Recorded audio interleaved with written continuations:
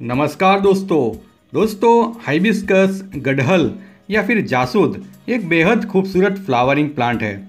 लेकिन जितना ये प्लांट खूबसूरत है, उतनी ही इसमें प्रॉब्लम भी है।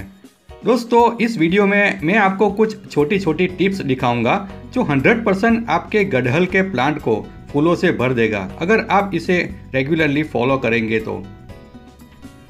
वीडियो अच्छा लगे तो प्लीज़ लाइक करना ना भूलें। दोस्तों, हिबिस्कस या गढ़हल प्लांट की सबसे बड़ी समस्या है यह वाइट मिलीबग। यह मिलीबग जहाँ से कलियाँ निकलती है, यानी कि नए बर्ड्स निकलते हैं, वहाँ सबसे ज़्यादा दिखती है। मिलीबग कली में से सारा रस चूसकर इसे ड्राई कर देती है। इसका एक ही इलाज है, यह एयरबड्स इससे आप इजीली इस मिलीबग को रिमूव कर सकते हैं, कुछ इस तरह से। हफ़्ते में एक बार अगर आप मिलीबग्स को इस तरह से रिमूव करेंगे तो कुछ ही समय बाद मिलीबग की समस्या बिल्कुल कम हो जाएगी। मिलीबग जैसे हानिकारक कीटों को प्लांट से दूर रखने के लिए एक काम आप और कीजिए। पॉटिंग मीडिया को आप कभी भी कंटिन्यूसली गीला यानी कि मॉइस्ट ना रखें। मिट्टी थोड़ी सी ड्राई हो, उसके बाद ही आप पानी दें। और पॉटिंग सरफेस को बिल्कुल क्लीन रखें कुछ इस तरह से।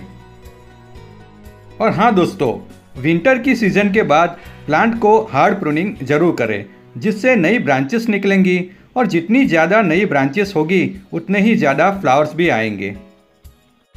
गढ़हल के प्लांट पर हफ़्ते में एक बार किसी अच्छे से पेस्टिसाइड्स का स्प्रे ज़रूर करें। मैं रेगुलरली यह काव यूरिन और नीम ऑयल का मिश्रण हफ़्ते में एक बार स्प्रे करता हूँ। जिससे प्लांट को हानिकारक कीटाणुओं से कुछ हद तक बचाया जा सकता है। और हाँ दोस्तों, यह प्लांट हैवी फीडर है, यानी कि इसे ज़्यादा फर्टिलाइज़र की ज़रूरत होती है। तो आप फ्लावरिंग सीज़न में 15 दिन में एक बार कोई भी अच्छा सा ऑर्गेनिक फर्टिलाइज़र ज़रूर यूज़ करें।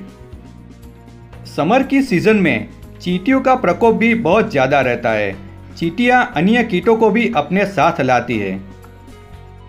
चींटियाँ और अन्य कीटों को पॉटिंग मीडिया से दूर रखने के लिए आप महीने में एक बार दो से तीन स्पून जितना नीम केक या फिर नीम खली पॉटिंग मीडिया में ज़रूर मिक्स करें।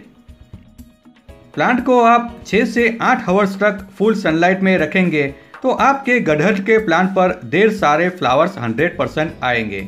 Thanks for watching bye